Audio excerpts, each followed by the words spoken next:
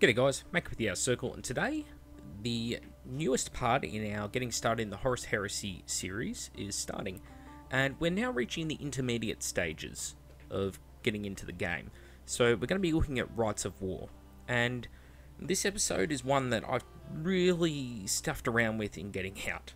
And the reason is because it's actually a really complicated thing going through the different rites of war, how they're applied, the pros and cons, and there's so many different ones, so many varied ones. How do you tackle such a project when there's two for every legion, plus um, another half a dozen or so generic ones that everyone can use? It's quite difficult. So, what I've tried to do um, is sort of simplify it. So, rather than jump straight into the deep end by covering off on a whole bunch of random ones, I'm going to go for three which are pretty similar and that's the Armored Spearhead, the Head of the Gorgon, and the Iron Wing Protocol. These are all tank heavy rites of war. So, before we get into the uh, meat of the episode, what are rites of war? Well, everyone should be familiar with the Force Organization chart and how different uh, factions obviously have preferences for different styles of warfare. So, for example, the uh, Iron Hands very much fans of tank warfare in using mechanized forces, motorized armored forces, that sort of thing. So, how do you represent that on the tabletop? It's a very hard thing to do without ignoring the force organization chart. So, instead, what we have are rites of war, and these allow you to step outside the bounds of the chart. Now, the big difference here is unlike 40k 7th edition, which Horus Heresy rules are based around, you don't just get shit for free. You don't uh, just say, "Hey, I am playing as a you know Raven Guard," and all of a sudden you get a bunch of free shit. Doesn't work like that.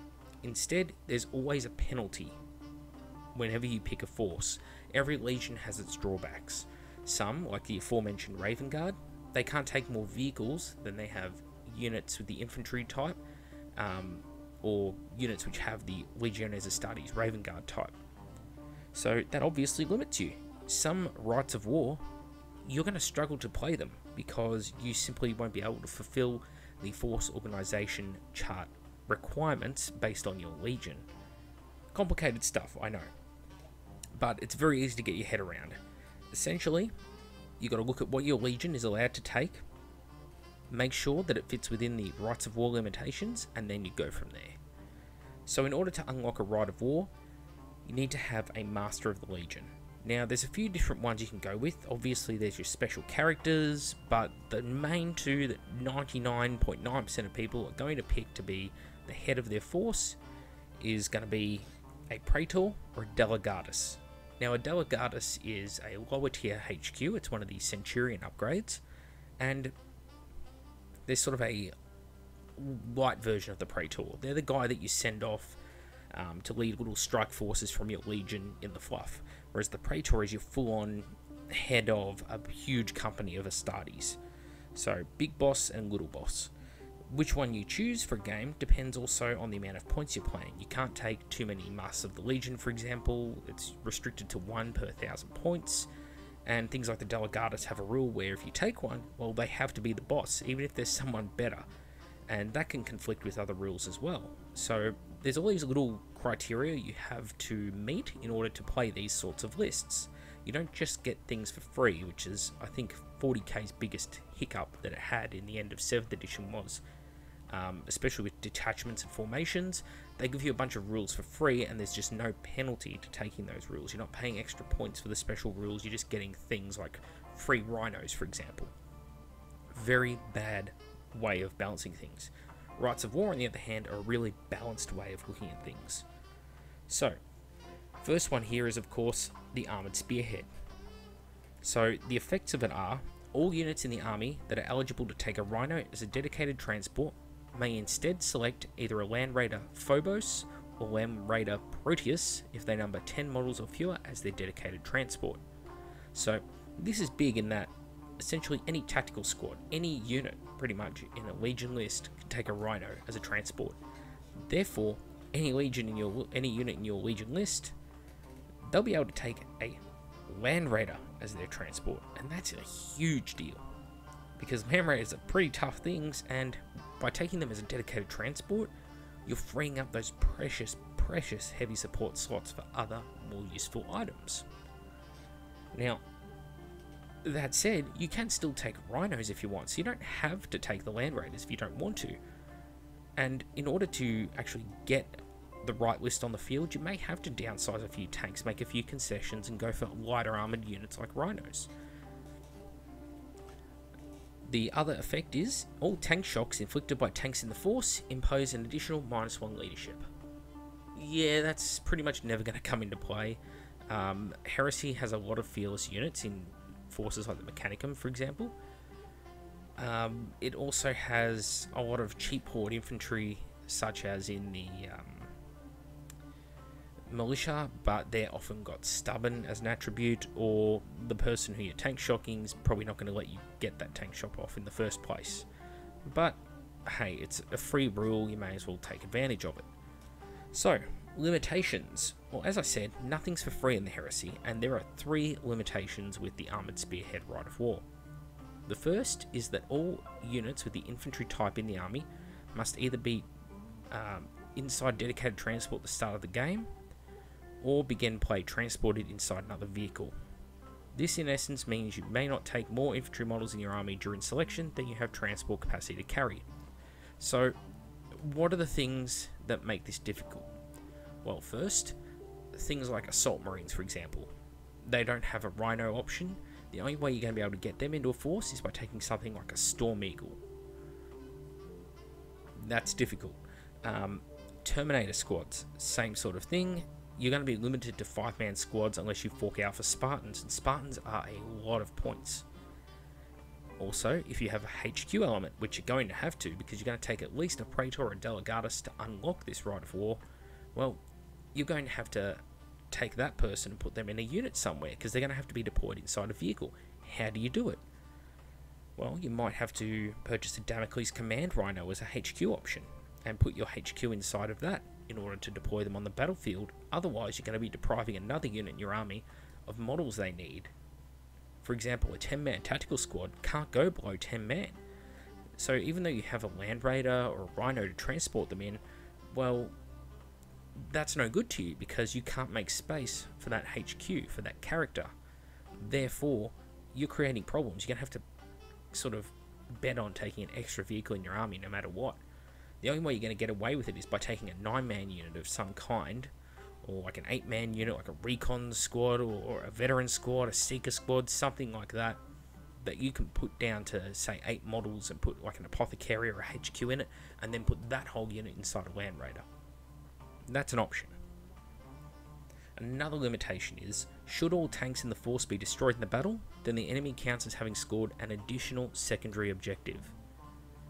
Well, this is where things get hard because those aforementioned rhinos are very, very easy to kill, especially if you're first blood hunting, people are going to go out of their way to kill rhinos. So, immediately, you don't want to take them, you want to be taking the heavier armored vehicles, the Land Raiders. But the thing is, if you take Land Raiders, they're going to chew up your points really fast. Rhinos don't. So it becomes a sort of balancing act of trying to hide rhinos behind the Land Raiders or trying to get as many powerful units in Land Raiders in your army as possible. Um, the other thing it does, it restricts your options. If you're going to go for things like drop pods or storm eagles, again, these are things that are going to take up your points. And unfortunately, they don't have the tank type rule, which means they're not going to help you out with meeting this victory criteria. So if you spend a whole bunch of points, like a thousand points on transports in your army, and you've only got, say, three land raiders in that thousand points, they've only got to kill those three land raiders to get this secondary objective. Now, you might have a Kharybdis or Dreadclaws or Storm Eagles, these other units, or Termites even. They're not necessarily tanks. If they don't have that tank key wording, they don't count. Therefore, if they are destroyed, well, it won't affect the victory point. But all the things that are tanks, yeah, it's going to affect that victory point. And that means you need to have enough tanks or be careful enough with them that you know you're going to get them to survive the game. Just one tank at least. Uh, last limitation is you may not take a fortification allied detachment. okay, that's not that big a deal because, again, this is a motorized force. You've got a lot of vehicles coming onto the board with units inside them or deploying on the board with units inside them.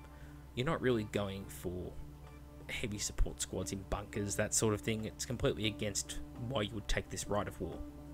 Besides, there are other ways you can still include different heavy support elements into the army, such as jet bikes. You could take the heavy support Legion Sky Hunters. Um, you could take Sky Slayers, another jet bike option, because again, it's only infantry that are eligible to take a transport that must in order to play. It doesn't affect um, doesn't affect those sort of things like you know jet bikes and bikes. So okay, they're an option of how you might be able to vary up the force. Uh, you could still include things like uh, Land Raider Achilles, which, as I recently found out, is even better than I thought it was on the tabletop. You could also include things like um, Caestus Assault Ram. You know, strong, powerful units. It also counts as a tank, by the way, which means it's one more thing they've got to kill on the battlefield that's a tank. And it got that good transport capacity. So, you know, there's options out there you can definitely take in order to give you sort of heavy support, uh, additional firepower where you need it. So that's the Armoured Spearhead Rite of War. The next one is the Head of the Gorgon. So the effects are Chosen Ground. Infantry units within the force gain the stubborn special rule while within their own deployment zone. Not hugely important. Um, again, this is an Iron Hands Rite of War the Iron Hands are lucky in the regard that any shooting that's performed against their infantry is at minus one strength. Uh, that's all models of the Legiones Astartes Iron Hands rule. So like bikes, jet bikes, infantry, uh, your Terminators, your Salt Marines, all that sort of stuff. Makes them really hard to kill because you need las cannons to ignore feel no pain. Missile launchers don't cut it. Um, strength 8 templates don't cut it. You need strength 9 in order to instant kill Iron Hands, which can be brutal. If you're shooting bolt guns at jet bikes and bikes, you only win them on sixes, and it makes a difference, believe me. So Iron Hands are bloody tough to kill, and them being stubborn, yeah, they're even harder to kill. They're harder to move because they can do things like put that Legion Heavy Support Squad in the battlefield, which is something that uh, other units may not necessarily have if you take, say, the generic Rite of War. But this is part of what's special about being an Iron Hand, you get access to this better Rite of War. The next effect is the War Relics. Any infantry model in the force equipped with a flamer may upgrade this to a graviton gun for plus 10 points. This must be represented on the model as usual, and all vehicles in the detachment gain the Blessed Auto Simulacra upgrade for free. So, this is big. First, graviton guns. Fantastic weapon I prefer it on my Terminators as opposed to on my infantry because it's not a weapon you can move and shoot. But Terminators being relentless can move and shoot it.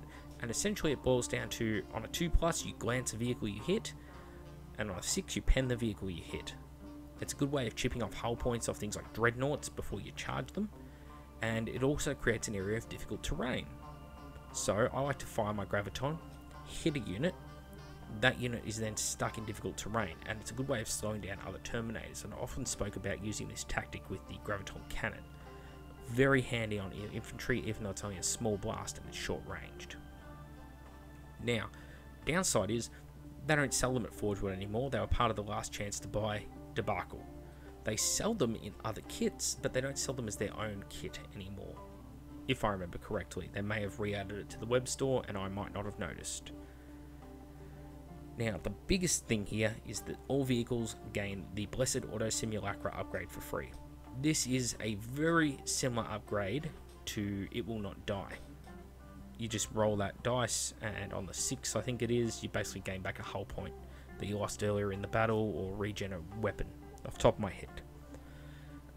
Very good ability, and can be taken in addition to It Will Not Die. So you can get two chances to repair your vehicle on its own before you even bring up an attack marine or something like that. The third effect is the Iron Scions. Legio Cybernetica Battle Automata maniples may be included as elites choices within the army. In addition, any infantry unit of 10 models or less eligible to take a Rhino as a dedicated transport may take a Land Raider Proteus or Land Raider Phobos as a dedicated transport instead. So, right here, you've pretty much gained the benefits of the last Rite of War, which was the generic one available to everyone, in that, hey, all my infantry, they can now take Land Raiders just like the last one. But, on top of that, you can also take things like Castellax. Um, or you might be able to take uh, Vorax. And these can go in your elite slots, and these are fast units in the case of Vorax, or very solid, hard to kill units in the case of uh, Castellax. Would you necessarily take them in an elite slot? Probably not. If I was going to take Castellax uh, in an Iron Hands force, I'd take them as part of a Praevian Consul and give them the Legion Astartes Iron Hands um, Legion Astartes rule, which will give minus one to the strength of weapons that hit them. So it means bolt guns just outright cannot hurt that unit. So makes them very tough to kill and very scary. So it's an option. Lastly, the Armoured Encirclement, which is the last beneficial effect of the force. Vehicles with the tank type, including dedicated transports carrying troops placed in reserve, gain the outflank special rule. So you can have things like Vindicator squadrons outflanking. Imagine that three demolisher cannons coming in on the side of the table and just pummeling your crap, and there's nothing you can do about it. Yeah, really solid, really solid. Especially when the Iron Hands have special characters like Castrum and Orth who greatly boost the effectiveness of their vehicles. That's terrifying. Now, limitations. Ah, yes, there's always limitations. Again, you don't just get all this cool stuff for free. Now, detachments using this Rite of War may only take a single fast attack choice as part of their force organization chart. That's big because a lot of good units are in that slot.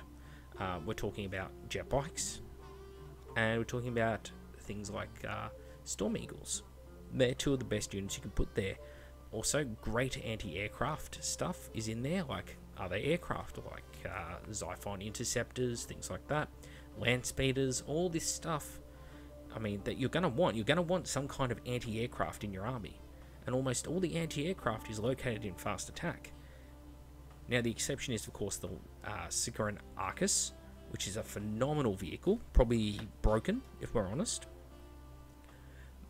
But if you bring an Arcus to a game, that thing gets targeted. That thing is prioritized as a target because it is a borderline broken vehicle, and people will kill it.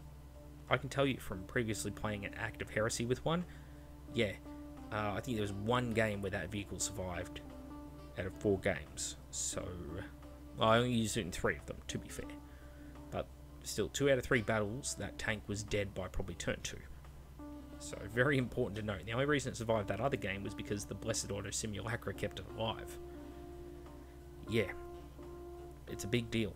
So, losing the ability to bring reliable anti-aircraft may be a problem. It limits you to things like Deredeo, trans, uh, Deredeo Dreadnought, sorry, and the aforementioned uh, vehicle.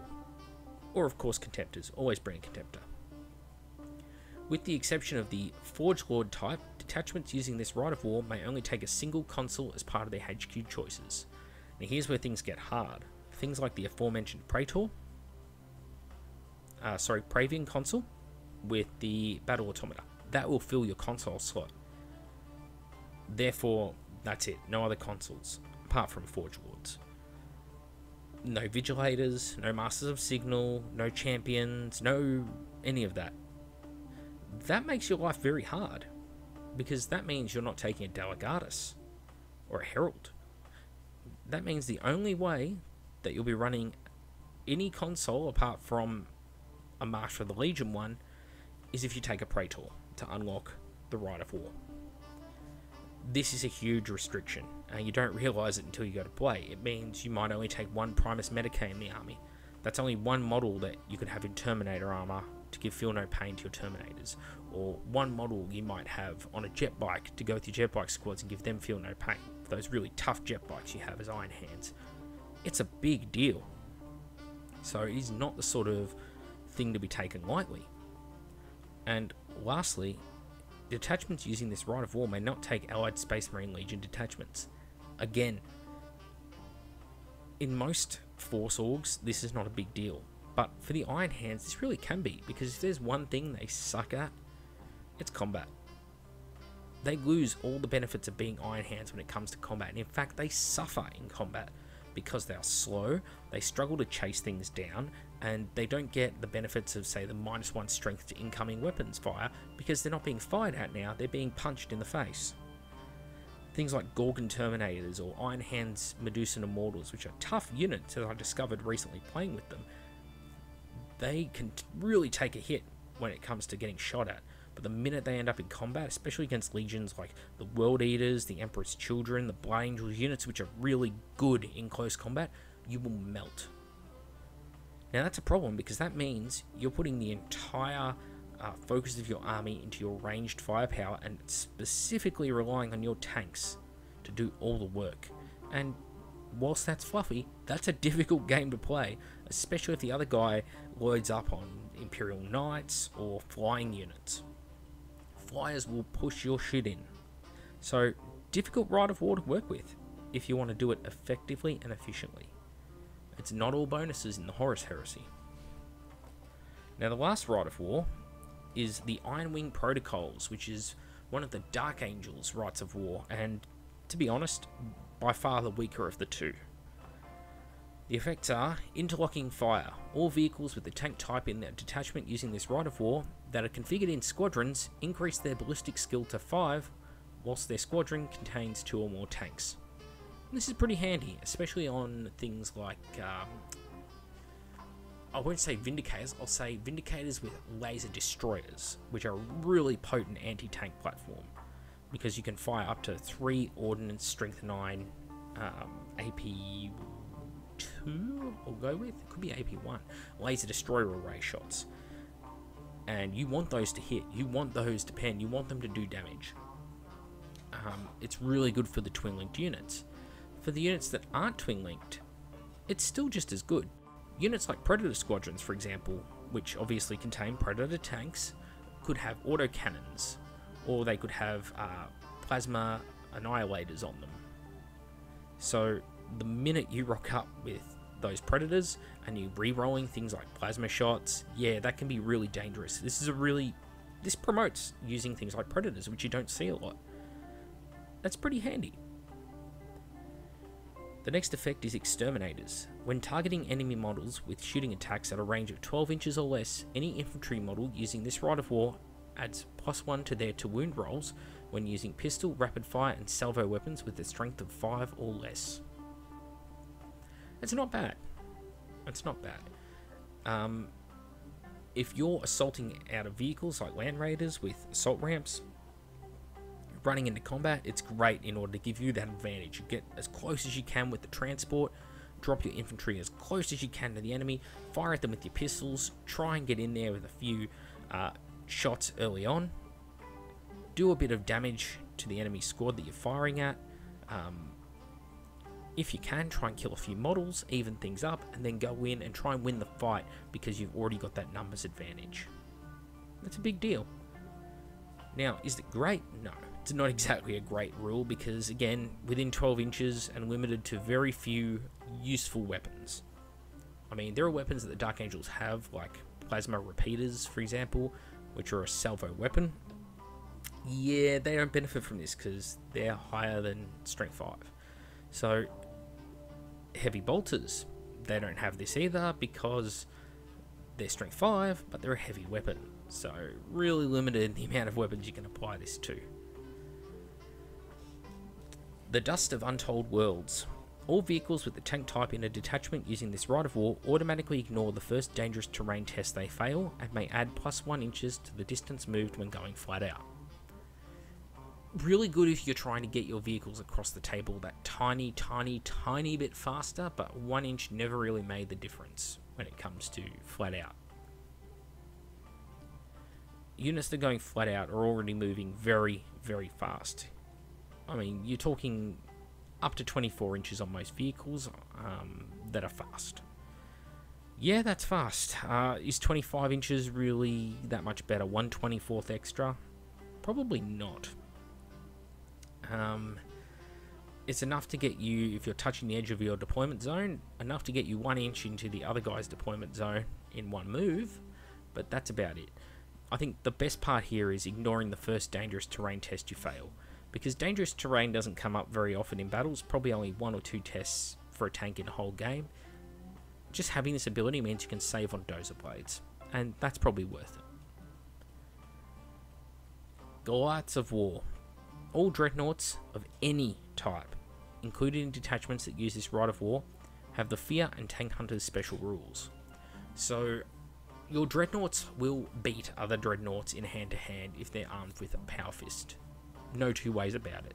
They will win. A Dark Angel's Leviathan with um, a Wrecker fighting a Telemon Dreadnought is going to win. Chances are it's also going to beat most Knights in close combat by having that 2d6 armor pen combined with the fact you've got tank hunters is incredibly brutal. And fear.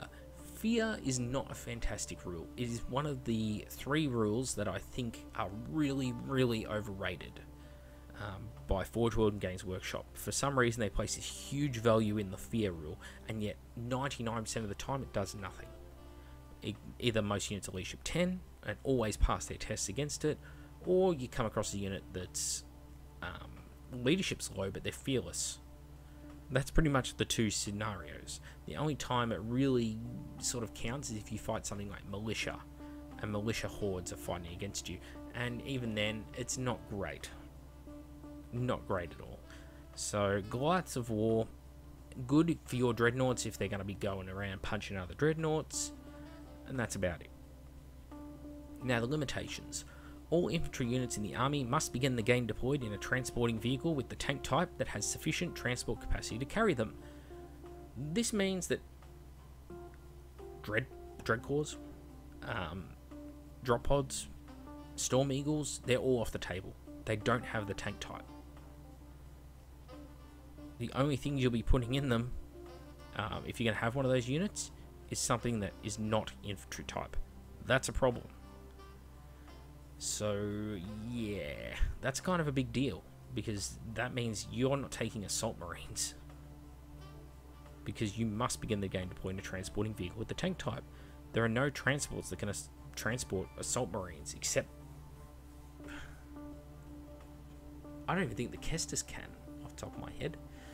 Yeah, so that really limits your options on that. And assault marines, people are probably saying right now, why the fuck would you take them? They're not great.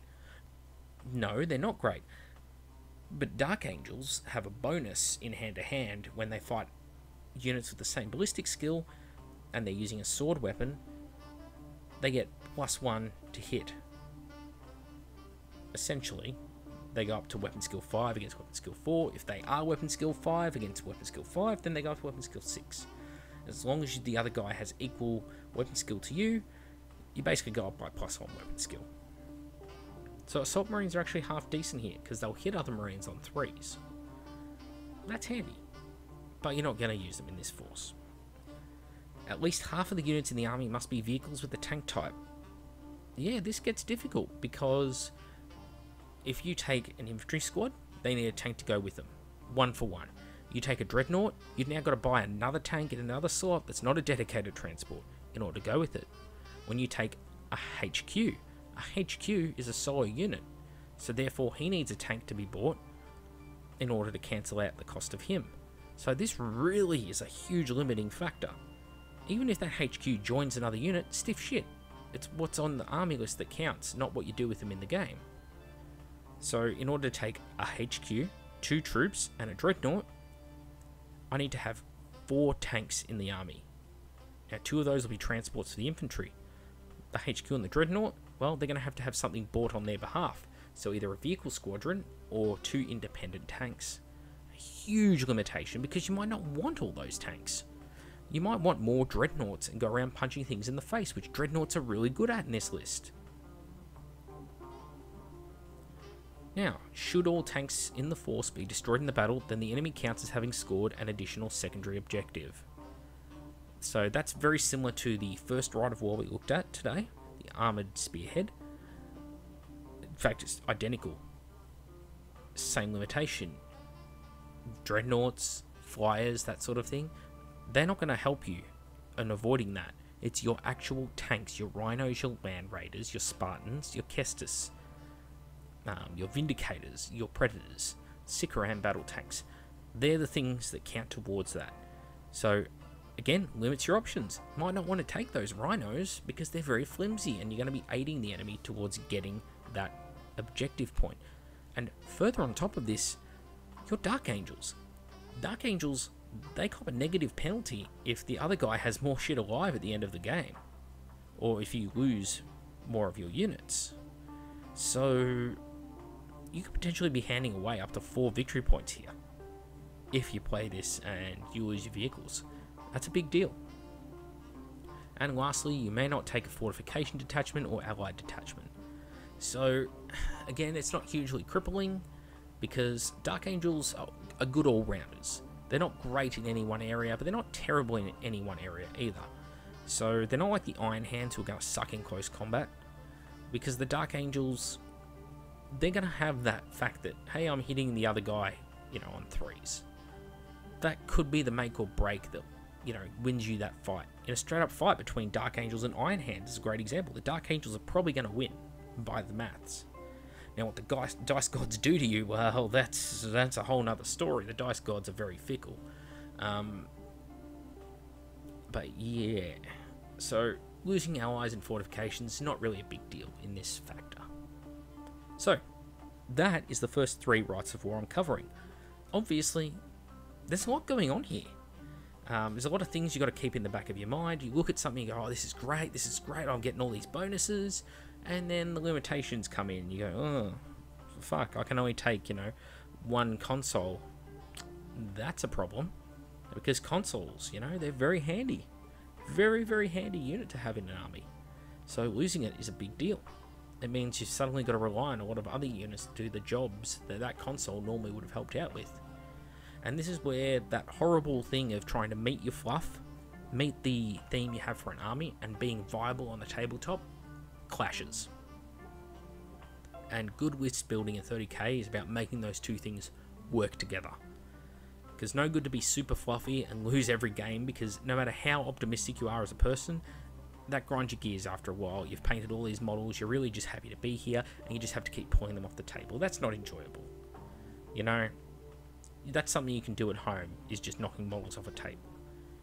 and same token if you're that guy that's a whack faggot and you go out and you're just like oh i love to play and i love to kick ass it's all about winning i don't care about the other person's enjoyment well you're going to have a hard time because the community is probably going to ostracize you so you got to find that nice balance between the two and Rites of war will let you find a balance if you play them smart so I'm Mac with the Outer Circle. Thank you all for watching this episode. There'll be more Rites of War soon, probably another month or two. Um, the next big video I'm going to be doing is going to be the second part of the Warhammer Fantasy End Times. And I'm not really looking forward to it. I've been trying to cram in the books, and it is painful. These books are atrociously written, and rushed is the optimal word of choice. So, yeah. Don't know why I agreed to the viewer request to look at those. I'm an idiot. Thank you all for watching, and I'll see you all next time.